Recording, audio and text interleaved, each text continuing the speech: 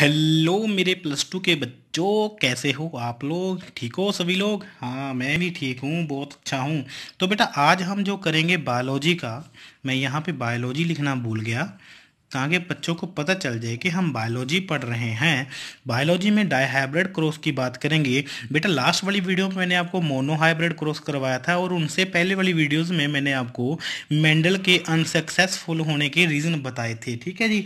तो अब देखो, ये जो मोनोहाइब्रिड क्रॉस मैंने पहले वाली वीडियो में करवाया, अब मैं डाईहाइब्रिड क्रॉस करवाने वाला हूँ। तो ये मेंडल की सबसे बड़ी ये कामयाबी का रास्ता रहा कि उन्होंने मोनोहाइब्रिड और डाईहाइब्रिड क्रॉस करके जो आने, आगे आने वाली जो पीढ़ियाँ थी, उनके लिए एक जेनेटिक का एक अच्छा तरीके से जो है मतलब निर्माण करके रख दिया। अब जो आप जेनेटिक्स पढ़ रहे हो, अगर मैं बात कहूँ कि जेनेटिक्स विदाउट मेंडल सही हो, पढ़नी सही होगी या नहीं तो आप बिल्कुल ही, ये बिल्कुल ही गलत है कि मैं अगर आपको बोल दूँ कि विदाउट मेंडल के लॉ पढ़े हुए, क्योंकि जो जो नींव थी वो मेंडल सर ने ही रखी थी। क्योंकि मेंडल अगर पहले उनको जब ज़िंदा थे, तब उनको वो रिकॉग्निशन नहीं मिली तो कोई बात नहीं, लेकिन उनके मरने के बाद, कुछ समय के बाद, जब साइंटिस्टों ने इनकी थ्योरी के ऊपर गौर फरमाया, तब इनका जो जो बलिदान इनका जो बलिदान था, इनका जो वरदान था साइंस के लिए जेनेटिक्स के लिए, वो बड़ा महत्वपूर्ण साबित हुआ तो इसीलिए इनको जेनेटिक्स का फादर बोला जाता है। ठीक है जी?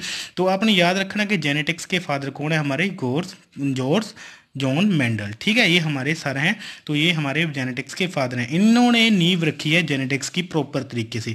अगर ये तब के टाइम ये अपने ये एक्सपेरिमेंट ना करते तो जेनेटिक्स का आज इस तरीके से डेवलपमेंट ना होता।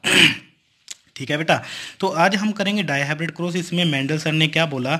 मेंडल जी बोल रहे हैं कि अब जो आप पी प्लांट का मोनोहाइब्रिड क्रॉस कर चुके हो तो आपने अगर डाईहाइब्रिड क्रॉस करना है, जो कि वो कर रहे थे तब के टाइम तो उन्होंने डाईहाइब्रिड क्रॉस करना चाहा।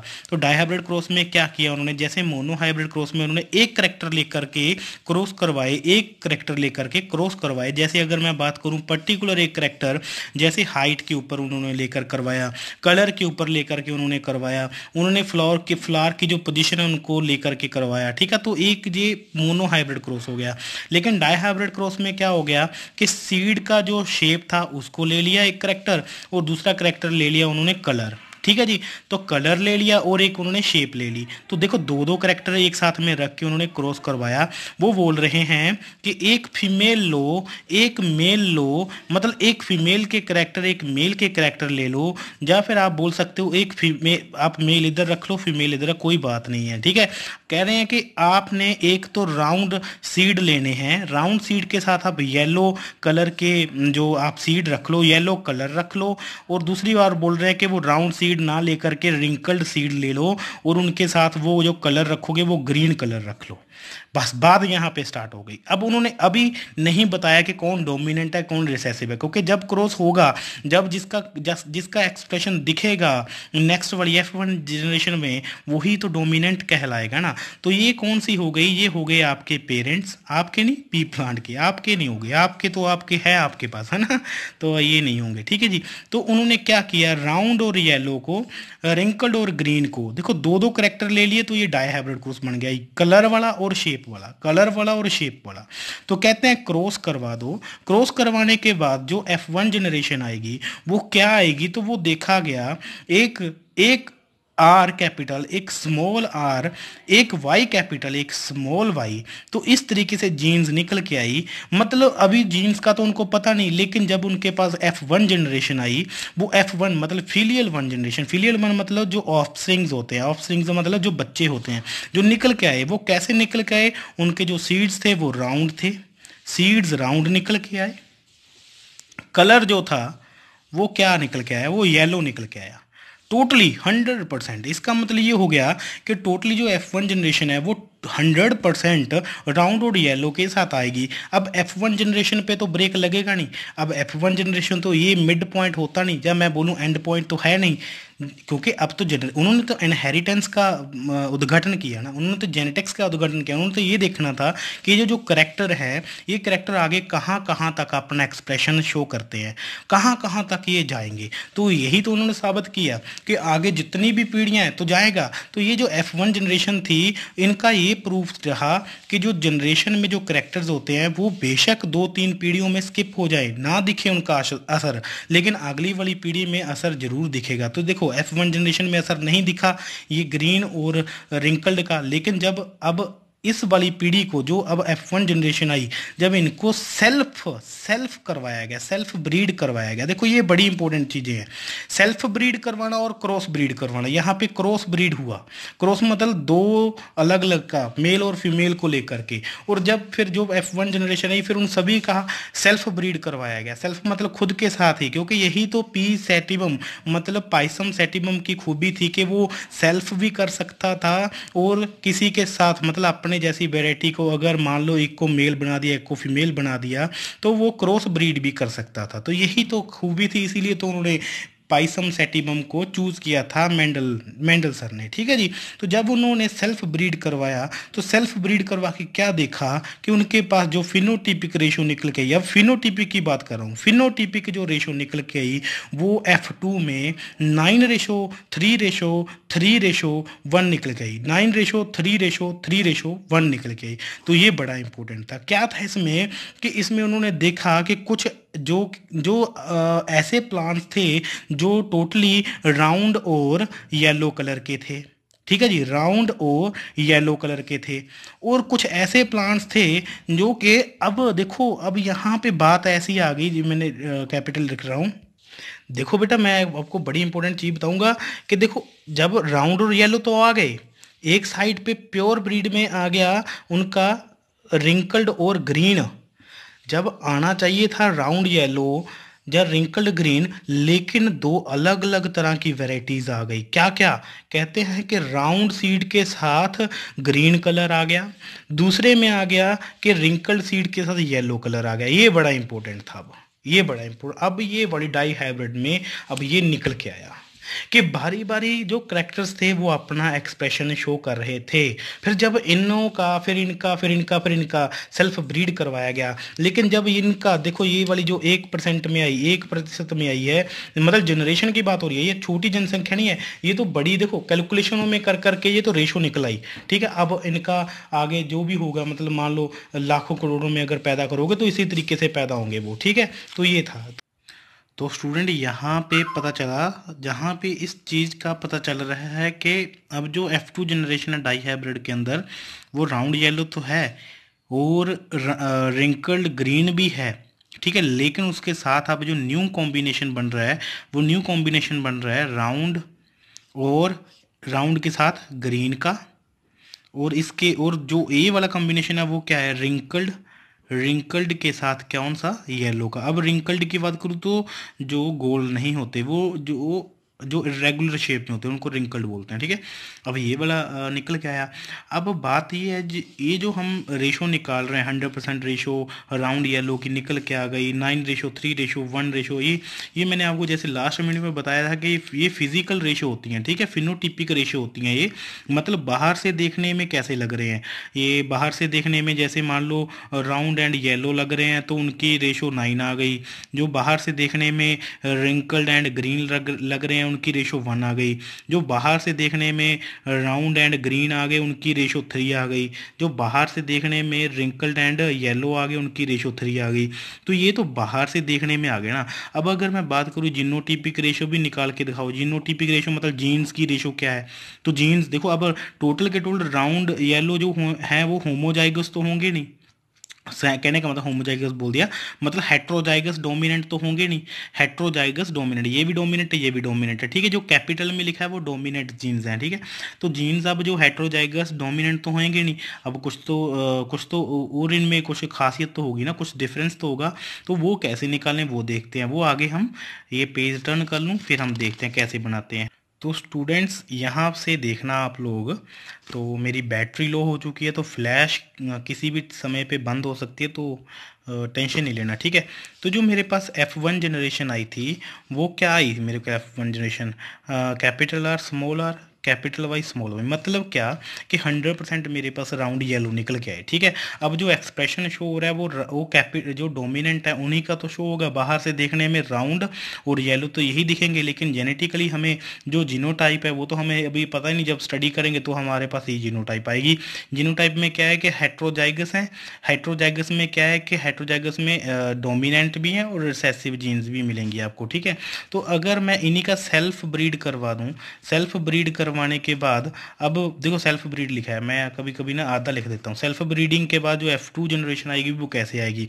तो आपने सेल्फ ब्रीडिंग में जो एफ़ टू जनरेशन निकालनी है, उसके दो मतलब हैं। क्या क्या एक तो आपने ये देखना होगा कि जिनोटिपिक रेशो क्या रहेगी। दूसरा आपने ये देखना होगा कि आपकी फिनोटिपिक रेशो क्या रहेगी। ठीक है जी? चलो हम देखते हैं कैसे। लिखो ये एफ़ टू जो, जब जनरेशन बनाओगे, क्योंकि जो आपके पास nine ratio three ratio three ratio nine ratio three ratio three ratio one आया, उसका हम देखेंगे। वो कैसे बनाओगे आप एक डब्बा लगाओगे, इस डब्बे को आप चार भागों में बांट लो, ठीक है? एक भाग, दूसरा, और ये फिर तीसरा, और ये फिर चौथा आपका लास्ट बड़ा हो गया, ठीक है जी? इस तरीके से ये आप चौथा, चार हिस्सों में बांट लिया। अब चार हिस्सों में से ही आपने इधर बांट लेना है।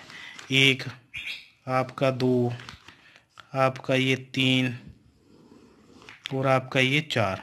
चार हिस्सों में ये बंट गया, ठीक है? और ये जो बचा हुआ है, इनको आप साथ में मिला दो। अब यहाँ पे आपने जो जो आपके जीन्स हैं, जो आपके सॉरी अभी मैं जीन्स की बात कर क्योंकि जीन्स तो तब पता ही नहीं चले, तब तो फैक्टर बोल रहे थे। जो आपके ये वाले जो करेक्टर्स हैं, अब जो फैक्टर्स हैं, आप फैक्टर्स को अलग अलग कर लो। क्या क्या पहले तो आप दोनों डोमिनेंट ले लो, ठीक है? दोनों जो आप, देखो, आप डाई हाइब्रिड कोर्स कर रहे हो तो डाई हाइब्रिड में तो आपने डाई डाई दो दो आपने करेक्टर्स लेने हैं। एक बार आप दोनों डोमिनेंट रख लो, दूसरी बार में आप एक रिसेसिव रख लो, दूसरा डोमिनेंट रख लो, तीसरी बार में आप एक डोमिनेंट रख लो, दूसरा आप रिसेसिव रख लो। तीसरी बार में आप दोनों ही रिसेसिव रख लो, ठीक है? और इधर भी सेम आपने, जो आपने ऊपर रखा वही आपका आएगा, ठीक है? तो यहाँ पे आपका वाई कैपिटल आ गया। तो यहाँ पे आपका आर कैपिटल यहाँ पे वाई स्मॉल आ गया। यहाँ पे आपका दोनों के दोनों स्मॉल आ गए। तो अब क्रॉस कराओ। क्रॉस करवाने से, देखो सेल्फ सेल्फ ब्रीडिंग हो रही है तो सेल्फ ब्रीडिंग से क्या आएगा? तो जब इनका आप मल्टीप्लाई कराओगे आर के साथ आर का मल्टीप्लाई तो आर आर तो वाई का वाई के साथ तो वाई वाई ठीक है जी? डोमिनेंट आप सबसे पहले लिखोगे। डोमिनेंट क्या सबसे पहले का मतलब जैसे अभी देखना। अब इसी को, एक को पकड़ लो पहले आप। एक को पकड़ो, पहले एक को कंप्लीट करेंगे। एसी इसी को पकड़ा इसके साथ क्या? अब इसी को पकड़ो, अब इसके साथ करो। कैसे? अब देखो डोमिनेंट आ गया। अब यहाँ पे रिसेसिव है तो रिसेसिव बाद में लिख दिया। अब यहाँ पे डोमिनेंट यहाँ पे डोमिनेंट ठीक है? अब आप थर्ड के साथ करो उसी तरीके से। Capital R capital R capital Y, small Y, ये हो गया। अब आप फोर्थ के साथ करो। Capital R, small R, capital Y, small Y, ये हो गया आपके पास। अब आप सेकंड वाला करो, ये वाला आप उठा लो। अब इसके साथ करोगे same capital R, small R, देखो डोमिनेंट मैंने पहले रखा है, ठीक है? तो कैपिटल वाई कैपिटल वाई। तो सेकंड में सेम करो।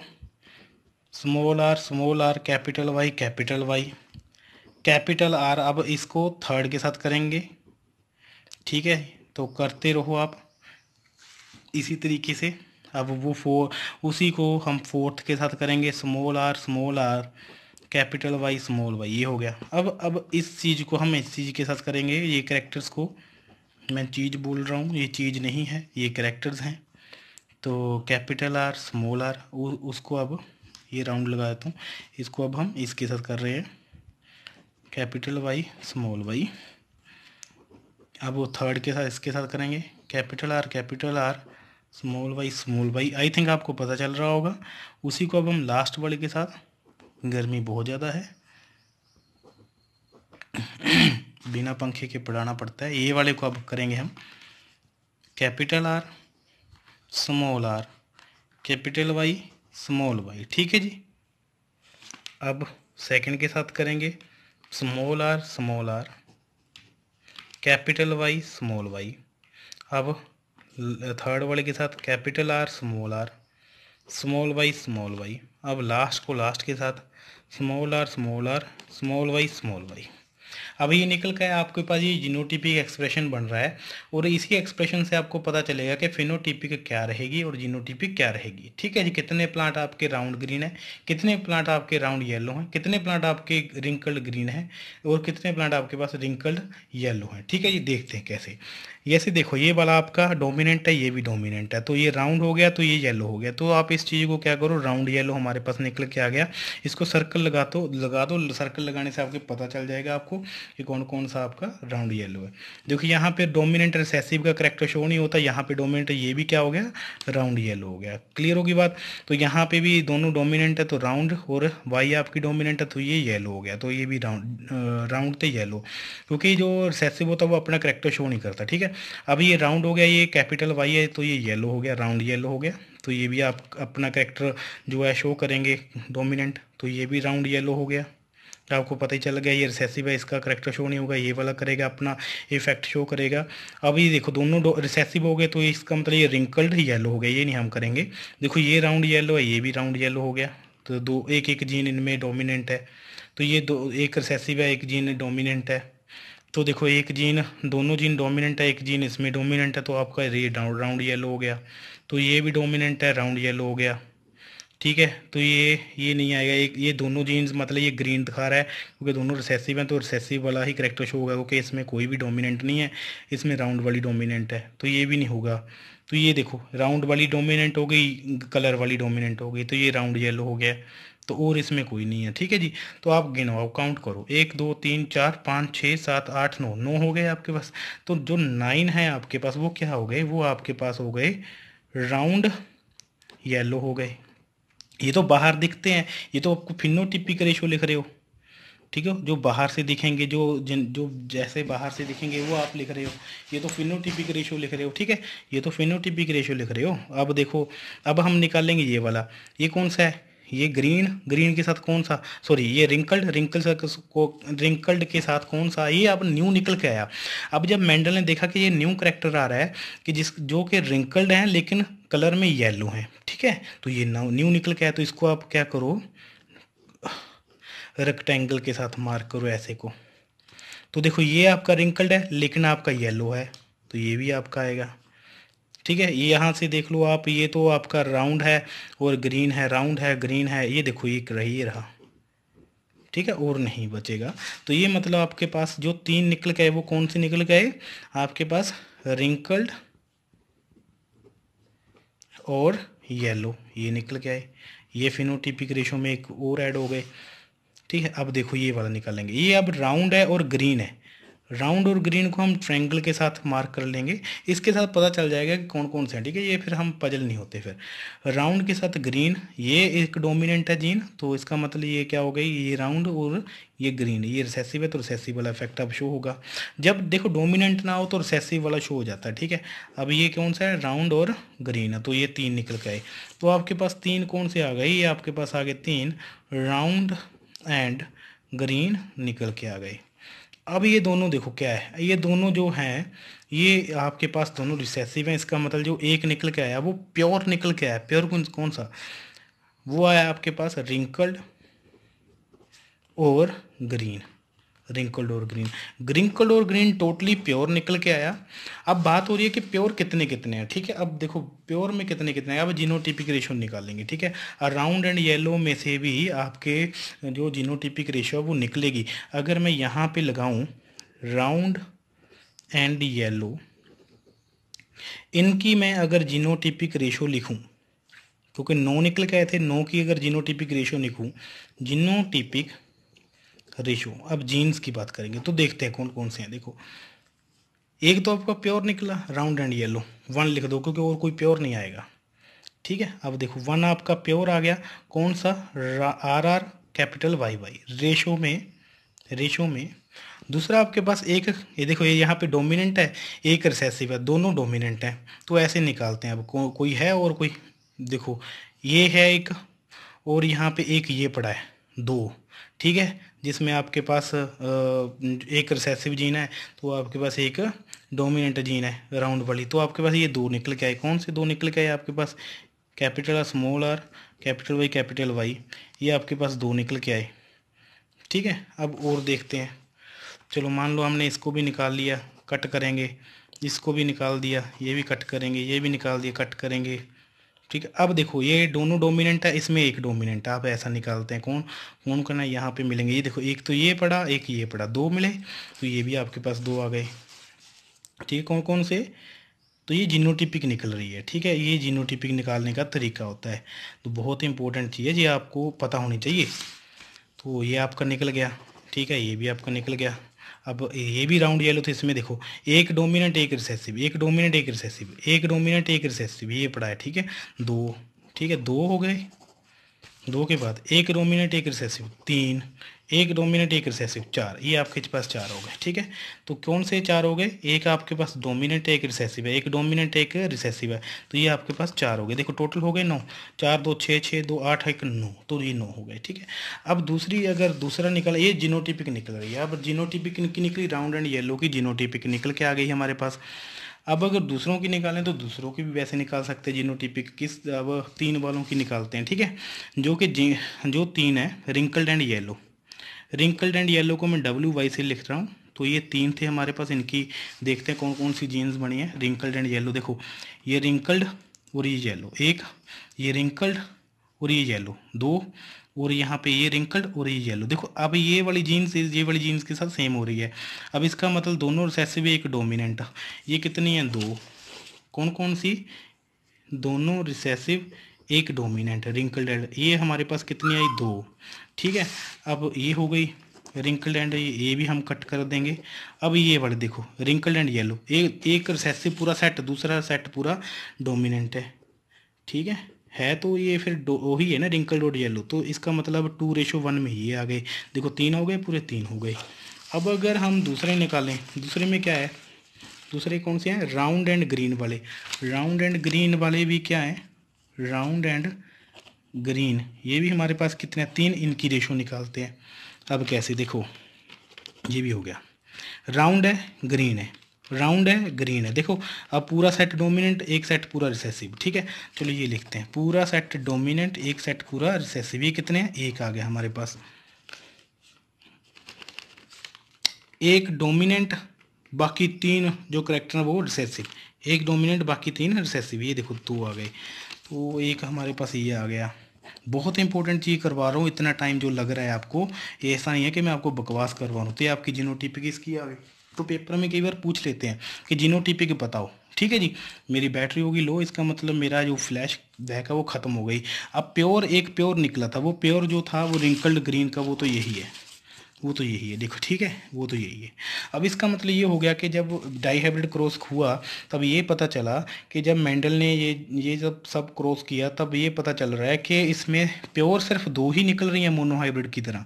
एक प्योर निकल रहा है, एक प्योर आपका बिल्कुल ही टोटली जो रिसेसिव वाला ये प्योर निकल रहा है, ठीक है? वन वर्ड वाला। बाकी जितनी भी हैं सारे वो क्या कर रही हैं, उसमें थोड़ा सा क्या होगा, जीन्स कभी अपना इफ़ेक्ट शो कर रही है, कभी नहीं कर रही। तो यही था डाई हाइब्रिड क्रॉस इसमें जिनोटिपिक और फिनोटिपिक काफ़ी ज़्यादा वेराइटी में, काफ़ी ज़्यादा मतलब वास्ट डिफरेंस लेकर के आई हैं। और ये जिन्होंने साबित किया कि जनरेशन टू जनरेशन ये जो करेक्टर्स हैं, ये आगे पास होते रहते हैं, ठीक है? तो ये था डाई हाइब्रिड क्रॉस इसमें और कुछ भी नहीं है। तो आप ये पढ़ सकते हो। मोनो हाइब्रिड और डाई हाइब्रिड क्रॉस को मैं बहुत ज़्यादा डीप तरीके से समझाने की कोशिश की है। अगर और और तो मेरे को लगता नहीं कुछ होगा इसमें। तो नेक्स्ट टॉपिक में मिलूँगा बेटा। अभी इसकी, इसी के लिए, इसी समय के लिए बस इतना ही। Thank you so much